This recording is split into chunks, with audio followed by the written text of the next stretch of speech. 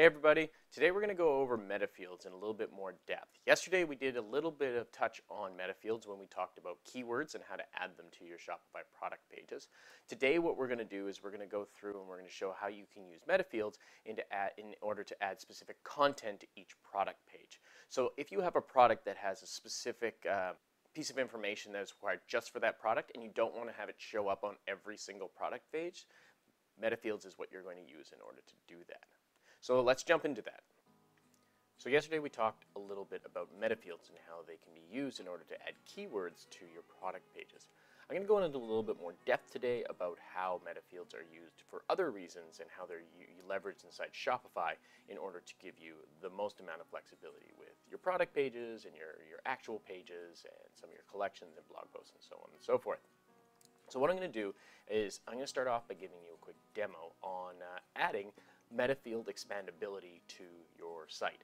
Then when we're done that, I'm going to go over some of the apps that you can use in order to make managing these metafields a little bit easier. So for the purpose of this demo, I'm going to be using Shopify FD to access my um, metafields. And then near the end of the video, I will show you how to use metafields, the uh, Metafield 2, the app that allows you to uh, to visually see all the metafields that are inside your store and very quickly go and export them and import them as you need. So the first thing we're going to do is let's have a look at our product page here. Um, we've got this uh, double flap lambskin leather shoulder bag that we were using yesterday and I actually want to change uh, the shipping information for this uh, product specifically. Now what I'm going to do is I'm actually going to change uh, the shipping um, inside metafields instead of just changing it inside the description. So in here we have our descriptions laid out. Uh, but as you can see, there is no shipping in there. If we go into the theme itself, and if we go in and edit the theme, let's go and edit the code here, and we drill in to try and find that specific item. So we're going to go to product, because this is the product page, and now we can see that it includes a section. So then we can drill farther into the sections, and we can go to product section, and it pulls up the product section. Now we can have a look through here and to see if anywhere in here um, includes uh, the shipping information, but we can see that it actually includes a snippet now, which is called product. So we can drill farther even down, and we can go to product uh, snippet. Now you'll find this as a commonality in a lot of themes, is that they'll include uh, they'll have includes inside includes inside includes uh, without any code on them. So like for example, product is only including the section, and then the product section is only including the product liquid, and then when you get the product liquid is where you get your code. So you have to drill into it in order to find it.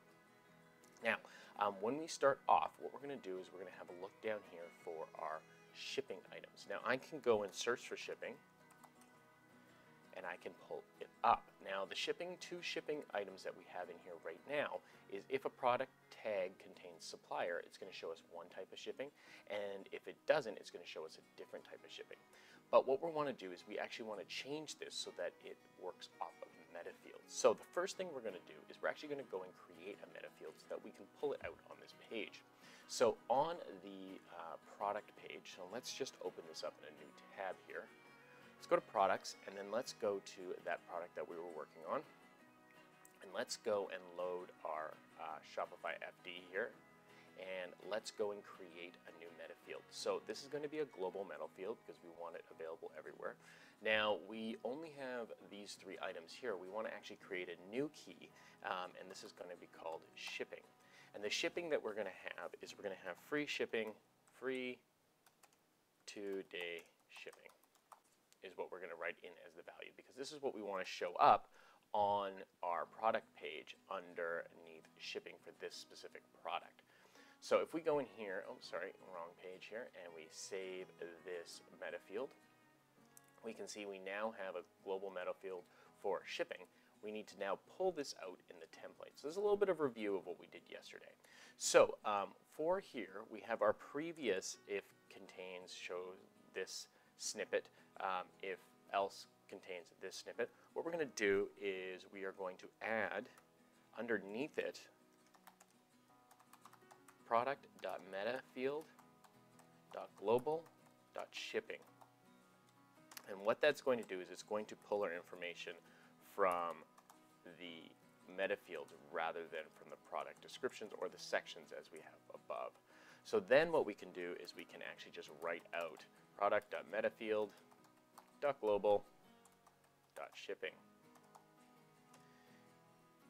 And when we save that, so it's important to make sure that you add the meta fields, it's plural, not singular. So products.metafields.global.shipping. Once we have that in there and we go over to the page and refresh it, we'll see the two-day free shipping has shown up.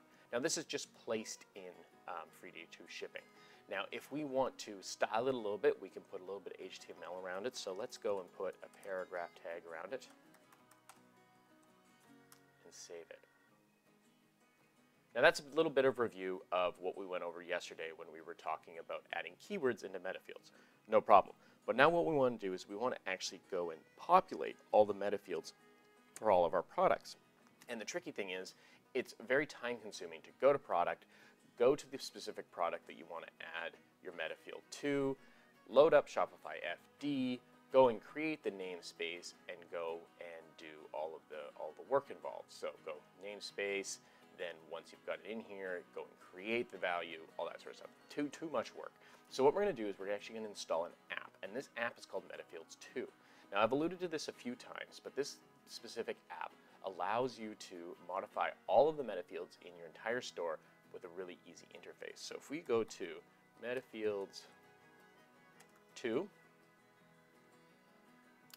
oh sorry, let's just change this here. Let's just search metafields. Metafields Plus, there's Metafields 2. They may have rebranded it. There it is, Metafields 2. Okay, so if we click on Metafields 2, comes up with add the extra data fields you need wherever you need them. You can hit add app. It will load up.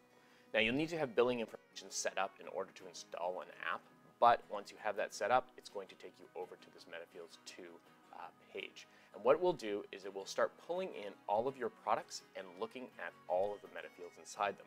So let me walk you through what we have here. So if we click on products, once Metafields has finished scanning all of your products and it's synced all of the resources between Shopify and its dashboard, um, right now, as you can see, the variants are still going through. I have a number of products in this demo store. You can go into the specific product. And then what you can do is you can expand that product and it's going to show you what the meta fields that are filled out for those individual pieces are. So for the first one, we can see I've filled in uh, free shipping. If I wanted to change it for the, say, the, the quilted lambskin, I could go uh, free uh, US shipping if that's potentially something that I wanted to do. So I can save that on the, uh, the other one. So as you can see, they have different values that are set up. So when we pull them up on the website now, because we've now gone and changed the code to match it, so let's go and pull them up here. So here's the second one. We can go and view scroll down to shipping, we see we have free US shipping. So now what we can do is we can add our own individual meta fields to individual products uh, using an app that makes it very easy for us to go through and quickly go and change them all. So you can go in and you can go and change um, each individual one in a table-like format, making it very easy for you to modify the meta fields. Now through MetaFields, you can actually add additional MetaFields. So you don't even have to use the Shopify FD in order to add the MetaField. You can go straight into configure. You can go to your products, and when you configure products, you can add the namespace, the key, the type, whether it's a string or an integer, and you can give it a description so that people know what it is. So that is essentially how you use MetaFields in order to manage all of your additional data that you want to put inside of Shopify. Now, um, if you're working with a Shopify expert, usually they will want to store this additional uh, uh data inside MetaFields. Um, it makes it really easy to expand your product pages beyond what Shopify originally just gives you. Thanks everybody for coming by and checking out the video. Don't forget to like and subscribe. Hit the bell button if you want to get some notifications. And we'll see you in the next one.